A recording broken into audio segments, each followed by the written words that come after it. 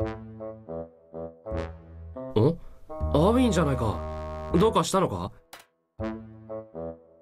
あのさこれってエスカが作ったのかな？ここに置いてあったんだけど。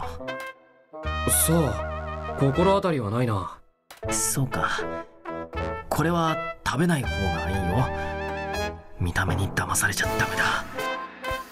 えそうなのか？普通の料理に見えるけどまさかつまみ食いしたのか？班長に怒られても知らないぞ。そうだね。するんじゃなかったよ。とにかくちょっとどこかで横になってくる。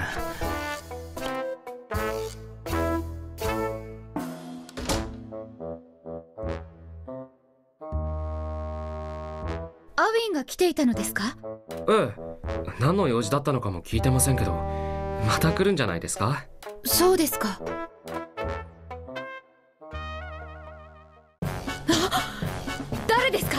そこの料理を勝手に食べたのは。あれはアウィンがつまみ食いをってもしかしてあれってリンカさんが作ったんですか？ええそうです。以前レイファーに教わった通りに味付けを濃くしてみました。うまくできたと思ったのでマリオンに食べてもらおうと思ったのですが待ってくださいリンカさん。その味付けって本当に大丈夫なんですか？問題ないはずです。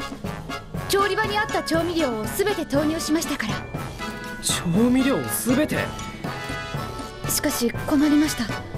そろそろマリオンが会議から帰ってきてしまいます。仕方ありません。自分用に取っておいたものをマリオンに進呈することにしましょう。あの本当に班長に食べてもらうつもりなんですか？当然ですマリオンに報告しなければ任務を完遂したとは言えません。何よりこれまで自分はマリオンに世話になり続けています。任務に関係なくマリオンに感謝を示したい。リンカさん班長に食べてもらう前にアウィンがつまみ食いしたやつで味見をしてみたらどうでしょうか？俺も料理は詳しくないですけど味見はとても大事なことらしいです。味見？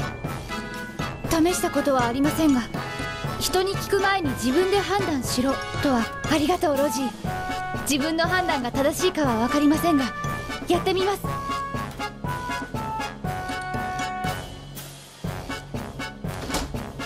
えるべきことは伝えたこれでそのまま出てきたら諦めてくれ班長。